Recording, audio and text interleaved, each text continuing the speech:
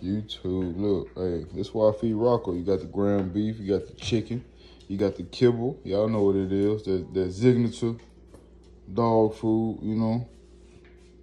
Uh, you got his raw. Got him a raw egg in there.